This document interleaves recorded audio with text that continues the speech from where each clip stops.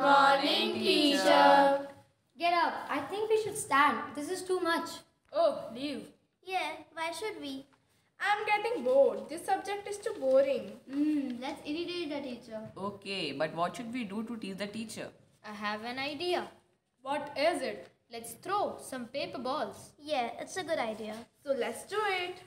Don't take advantage of me ignoring you. You have to be in discipline. Books and write notes. Oh no, not again. Writing notes are so boring. I got a complaint about you all. Can you please tell me what happened yesterday?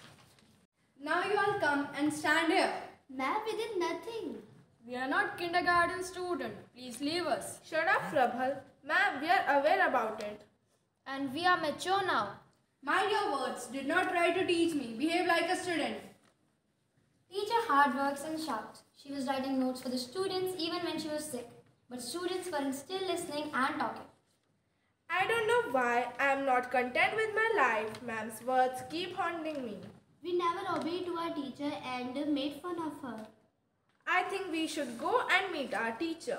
Yeah, you are correct. Let's call our batchmates and tell them to meet. Hi, everyone. What make you call? Can we meet because Suhana wanted to discuss something with you all? Okay. When they meet, Harsh reached first. Afterwards, everybody reached and started discussing to me. After a few days, when they reached at the teacher's place.